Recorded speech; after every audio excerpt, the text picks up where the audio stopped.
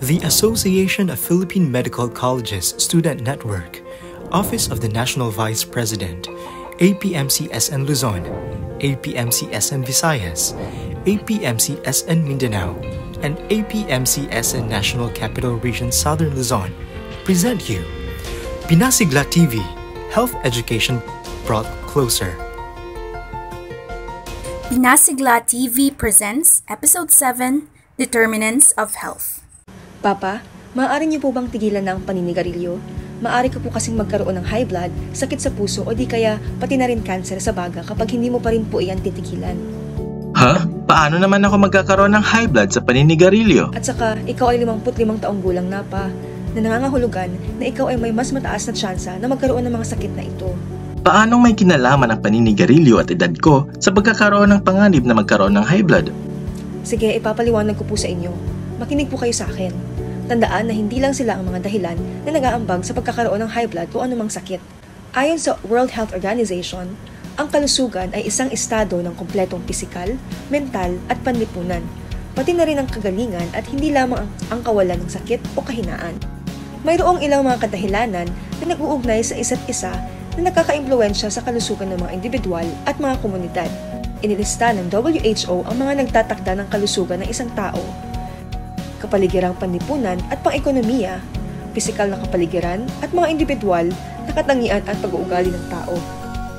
Pa, naaalala mo ba ba kung paano namatay ang iyong tatay na si Lolo John dahil sa atake sa puso?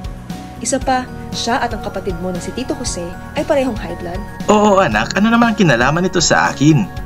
Ang ibig mong sabihin nito ay mayroon tayong family history ng sakit sa puso. Ang iyong bisyo sa paninigarilyo at hindi malusog na dieta ay nagpapataas ng inyong panganib na magkaroon ng sakit sa puso at high blood. Ang genetika at pag-uugali ng isang individual ay maaaring parehong magkaroon ng epekto sa kanyang kalusugan. Ang genetika ay wala sa ating kontrol. Minamana natin ito sa ating mga ninuno. Ang mga kondisyon tulad ng high blood ay tuluyang na ipapasa sa ating pamilya. Ang mga biolohikal na salik tulad ng edad, kasarian at lahi ay may mahalagang papel din sa ating kalusugan. Ang iyong edad at kasarian ay parehong mga kadahilanan na napanganib para sa mataas na presyon ng dugo.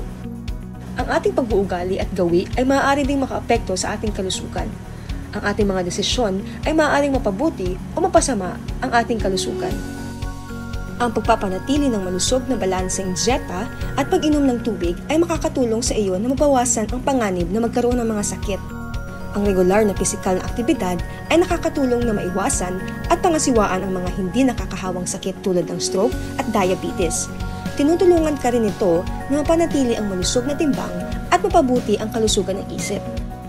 Ang kakulangan sa tulog ay negatibong nakakaapekto sa iyong kalusugan. Ang mabuting kalinisan tulad ng wastong paghuhugas ng kamay ay maaaring maiwasan ng mga sakit tulad ng sipon at trangkaso. Ang pagsisipilyo naman ng ngipin ay nakakabawa sa pagkakaroon ng bulok ng ngipin. Ang pagpaninigarilyo, pag-abuso sa alkohol at droga ay nauugnay naman sa maraming sakit tulad ng cancer at sakit sa puso. Ang genetic susceptibility at hindi malusog na pag-uugali ay lubos na nagpapataas ng kanilang tsansa na makakuha ng sakit ang mga panlipunang nagtatakda ng kalusugan ay nakakaapekto sa mga kondisyon ng kalusugan kung saan ipinanganak, lumalaki, nagtatrabaho, nabubuhay at nagkakaedad ang mga tao. Kasama sa mga halimbawa ay ang mga resources, pamantayang panlipunan at mga salik sa politika. Ito ay may mahalagang impluensya sa hindi pagkakapantay-pantay sa kalusugan.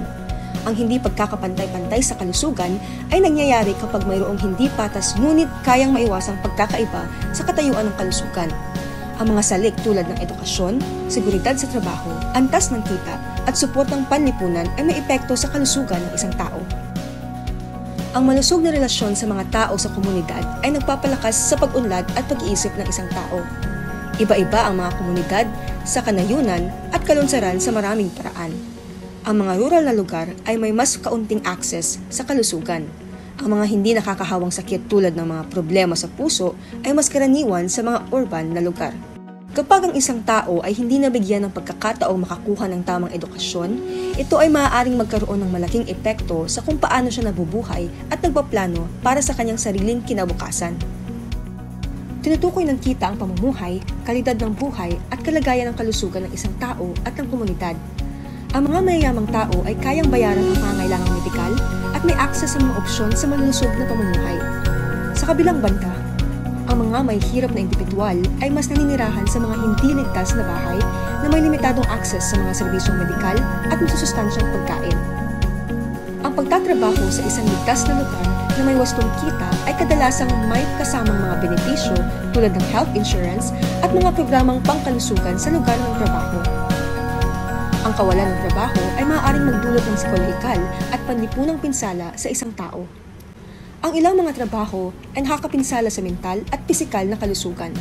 Ang mga hindi karaniwang oras ng trabaho at hindi malusog na mga kondisyon sa pagtatrabaho ay nauugnay sa may mas mataas na panganib ng pagkakasakit, pinsala at kamatayan. Kasama sa mga serbisyong pangkalusugan ang pagpapabakuna, kapakanan ng pamilya, nutrisyon at mga serbisyong pang-edukasyon na mahalaga para sa panlipunan at pang-ekonomiyang pag-unlad ng tao at ng komunidad. At ang panghuli ay ang pisikal na kapaligiran. Ito ay kung saan ang mga tao ay pinanganak, lumaki, nabubuhay at tumatanda. Ang hindi maayos na pisikal na kapaligiran ay may kinalaman sa ating kalusugan. Ang malinis na hangin at ligtas na tubig ay nagtataguyod ng malusog na paggana, paglaki at pag-unlad ng utak at katawan. Ang polusyon sa hangin ay nag-uugnay sa hika at iba pang sakit sa baga at puso. Ang kontaminasyon naman sa tubig sa kabilang banda ay maaring humantong sa mga sakit gaya ng impeksyon at pati na rin kanser. Ang ating kalusugan ay lubos na iniimpluwensyahan ng kaligtasan at kalidad ng ating kapaligiran sa pamumuhay. Ang isang matatag at abot-kayang tahanan ay maaaring magbigay ng isang ligtas na kapaligiran para sa mga pamilya. Ang pagkaka-expose sa lead ay maaaring makapinsala sa ating utak. Ang hika ay maaaring lumala dahil sa indoor allergens tulad ng alikabok. Ang kasikipan sa bahay ay nauugnay sa pisikal na karamdaman tulad ng mga nakakahawang sakit at psikolohikal na pagkakabalisa. Ang pagkakaroon at madaling pag-access ng mga serbisyo tulad ng pampublikong sasakyan, tindahan ng grocery, at pasilidad ng kalusugan ay kaugnay ng mas malaki at positibing resulta sa kalusugan. Ang mga nagtatakda ng kalusugan ay hindi umiiral sa paghihiwalay. Ang mga ito ay magkakaugnay sa isa't isa habang gumaganap sila ng mga makabuluhang papel sa kalusugan ng isang tao.